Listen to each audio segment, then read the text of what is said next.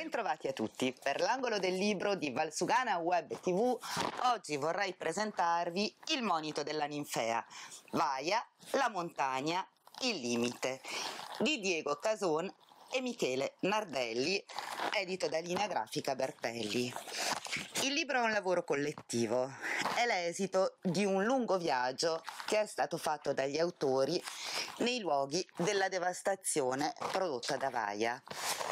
È anche un'occasione per una riflessione, per una riflessione su quello che questo cataclisma ha provocato, ma soprattutto un monito, un monito per tutti noi per cambiare i nostri gesti quotidiani, il nostro modo di vivere e l'economia collettiva. Lo potete trovare presso la libreria Il Ponte di Borgo Valsugana.